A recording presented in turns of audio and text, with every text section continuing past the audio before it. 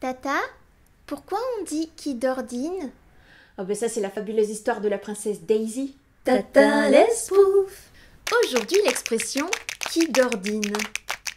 C'est l'histoire d'une princesse qui avait de très beaux cheveux et qui vivait à Paris dans un château de 9 mètres carrés. Un petit havre de paix avec de grandes charges locatives. C'était une princesse très douée, cultivée, euh, créative, euh, indépendante, mais c'était une princesse, avec tous les trucs chiants que ça comporte. Princesse? Oh, Non mais faut pas rester derrière moi comme ça. hein. Pardonnez-moi, mais c'est l'heure de votre salut à la foule par le Vélux. Oui, ben j'arrive. Putain Pardon, princesse. Et oui, comme toutes les princesses, elle vivait avec ses gens. Et dans 9 mètres carrés, c'est pas toujours très pratique.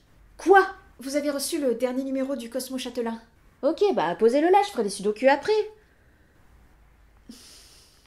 Mais quoi?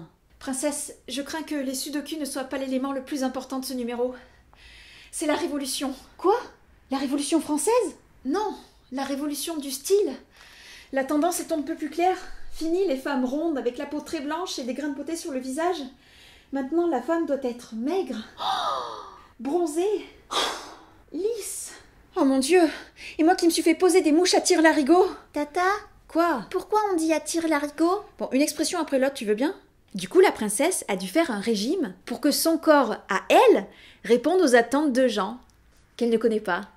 Ils ont donc engagé une coach en régime pour la faire maigrir. Bonjour Oh putain Je vais vous aider à perdre du poids pour répondre aux attentes de la société. Parce qu'ensemble, on va plus loin et seul, on va moins loin.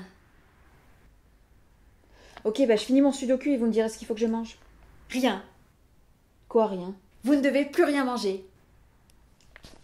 Mais je ne risque pas de décéder Non. Bon, ben. euh, Cuisinière? Oui Vous êtes virée. Les mois passent, et pourtant la princesse Daisy ne perd pas un gramme. La coach commence à avoir des soupçons et commence à la surveiller de près. Le jour,